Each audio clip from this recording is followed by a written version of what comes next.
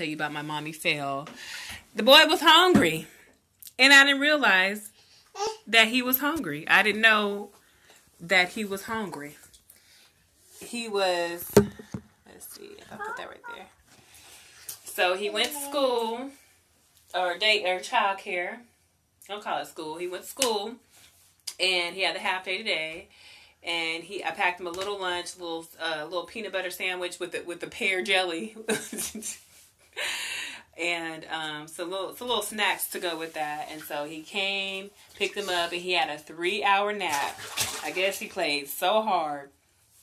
He Had a three hour nap, and then when he woke up, I just gave him a little bit of. I had boiled some macaroni and um, some squash, some like butternut squash, and I kind of mixed that together and he liked it. I gave him like a few spoons of that, maybe five or six spoons of that, maybe a little bit more. And then um, we went to the park, and so I was like, okay, he's he's gonna be cool. He played played at the park, and I was expecting him to be playing and running at the park for like an hour. And then he started like reaching for me and just like nah nah reaching, you know.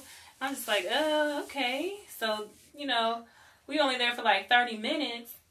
And I'm like, okay, well, let's go to the library because the library is like right next to this park I go to by the lake.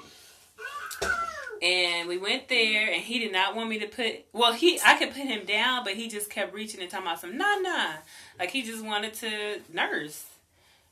And I was just like, why is he like wanting to nurse? And I'm thinking he just is being attached to me.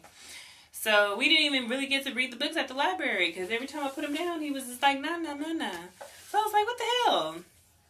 So then I went to the store, and girl, when I got in the store, he reaching for all the food. He like, ooh, ooh. So he reaching for these blueberries, and so I'm like, okay, he can play with the blueberries. He didn't open the blueberries, and they just didn't did fell everywhere. And I'm like, oh shoot. Then I give him another box of little blueberries. And I'm like, well, maybe he wants one. Girl, how about this little boy? the blueberries in my hand. How about he grab his hand and just like grab the biggest handful of blueberries and like just dropped them in his mouth. And I was like, oh shit, he's hungry.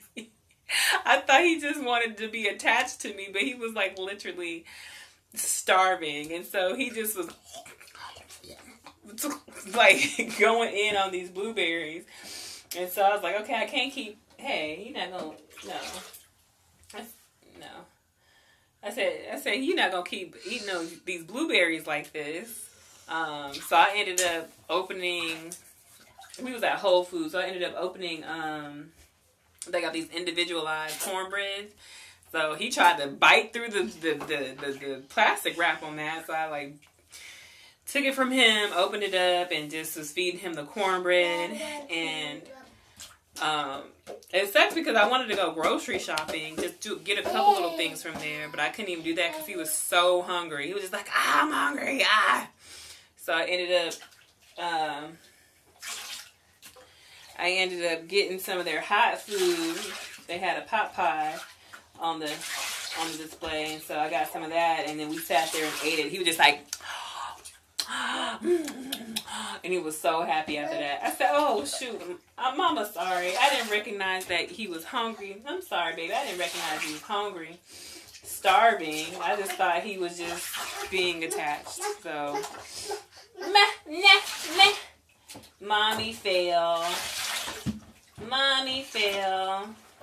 Now I know it's not all about being attached. He be hella hungry. I was talking to Keisha. She was like, "You know who, who child he is? He your child. You greedy."